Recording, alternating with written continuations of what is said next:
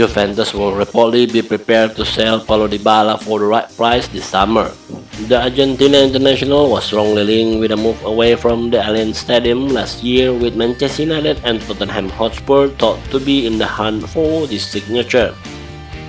The attacker ultimately remained in Turin though and enjoyed a productive 2019-2020 campaign with the Italian champions scoring 17 times and contributing 14 assists in 46 appearances in our competition.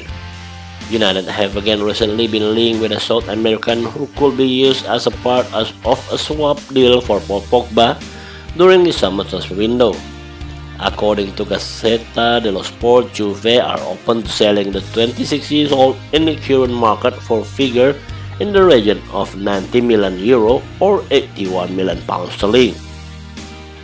The former Palermo youngster only has two years left to run on his contract with the Andrea Pirlo's side.